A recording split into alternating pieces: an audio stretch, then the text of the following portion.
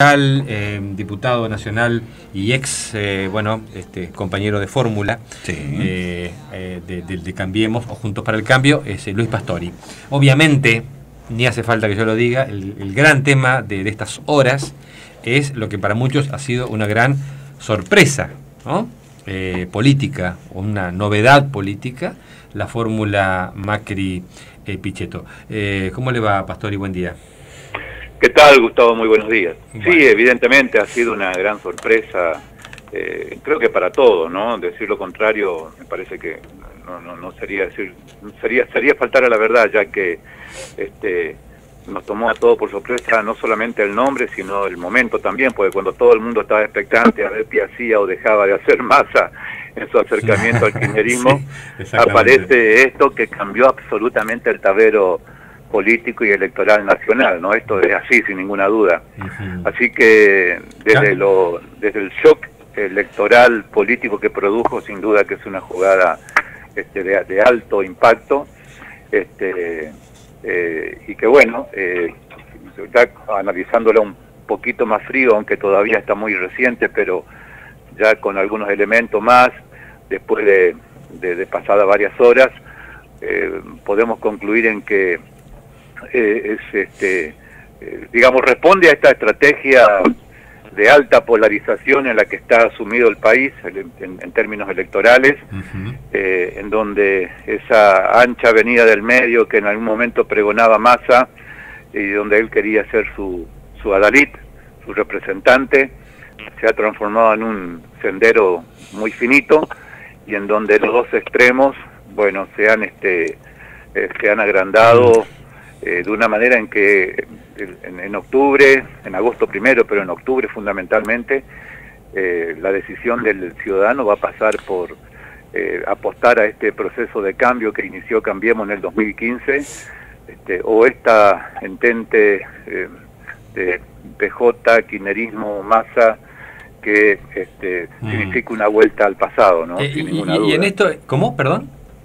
Que significa una vuelta al pasado, del cual creo yo, la gran mayoría de los argentinos no está dispuesta a, volver. Así que yo celebro esta jugada, me parece que ha sido muy buena y que, bueno, las, por lo menos yo he escuchado las principales figuras del radicalismo nacional eh, en la noche, anoche, en donde eh, de algún modo esto también responde a este reclamo que hizo la Convención Nacional en en Parque Norte hace un par de semanas atrás. Lo que pasa es que me parece que cuando, cuando eh, Cornejo estaba pidiendo, este, me parece que no era exactamente esto lo que él quería.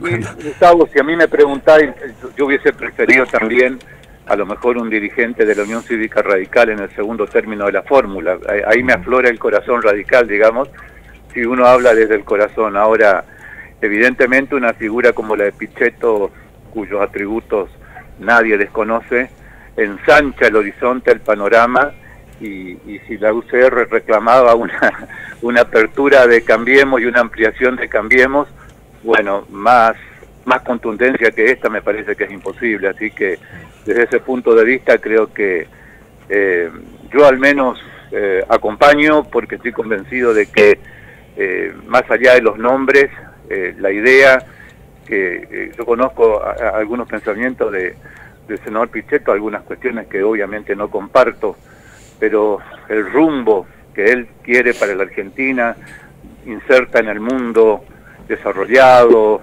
este, lejos de este eje que teníamos con Venezuela, Irán, eh, una Argentina con desarrollo, con, con, igualdad social, en donde hace falta muchos eh, eh, y grandes reformas estructurales en la Argentina, bueno, no podemos menos que coincidir. Pastori, eh, discúlpeme que lo interrumpa. ¿Usted está, suele estar en contacto con Esquiaboni? ¿Estaba al tanto de lo que se venía? Es decir, eh, ¿lo supo unos instantes antes que el resto de los mortales o se enteró como todos mirando por la tele nomás?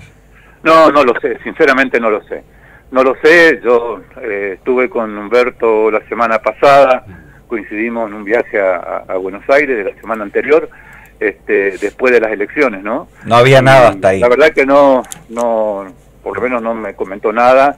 La verdad que ignoro si lo sabía en forma anticipada. Yo creo que mm, por, por, cómo se ha desarrollado, lo, han desarrollado los acontecimientos y la precipitación que hubo el día lunes fundamentalmente eh, cuando eh, después de la reunión de, mm. de Sanz con Macri, así que me parece que muy pocos Cuesta, va, a costar, ¿no? lo tome a mal lo que le voy a preguntar, va, a costar un poco imaginarse a los radicales misioneros haciendo campaña para, para Macri Pichetto.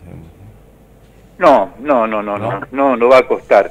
Yo no sé si recordarán, pero en algunas oportunidades en que me han consultado en distintos medios aquí, yo siempre decía que eh, no se trata de priorizar eh, los nombres. Eh, a ver, uno te, te, repito, el corazón radical de uno, eh, yo hubiese preferido un candidato radical, pero entiendo las urgencias y las necesidades políticas mm. del momento cuando están en juego los intereses sagrados de la República, los intereses partidarios Gustavo, tienen que pasar a un segundo plano. Si no lo entendemos así, vamos a estar errando. Sin dudas, lo que pasa es que en realidad, Pastori, perdón, pero más allá de nombres, usted habla de nombres, claro, sí, por supuesto, pero me da la impresión, vamos a ver, pero da la impresión de que acá el partido, o sea, la UCR ha quedado desplazada este, a un tercer lugar como, como socia de Cambiemos, que ya venían, digamos, casi como socios minoritarios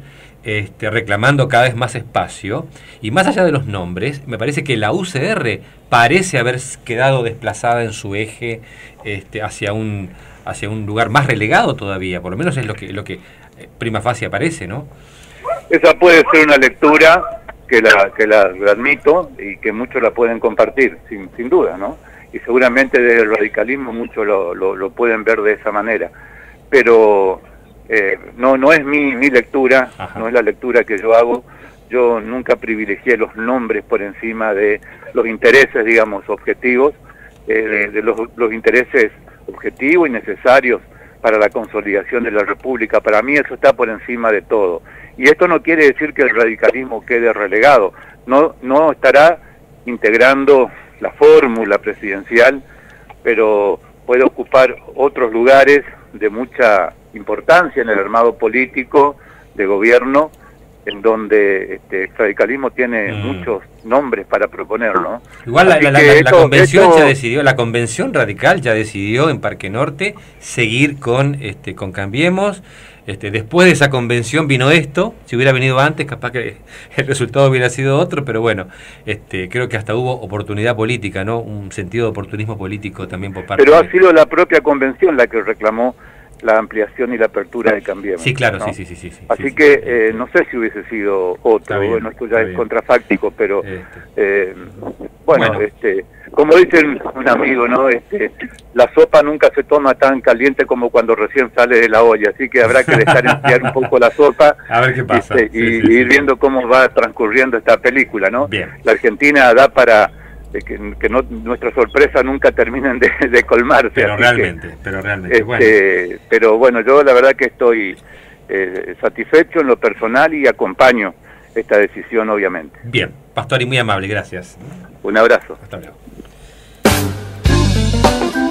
Yo recuerdo eh, haber hablado este, con, con un amigo, este, con, con un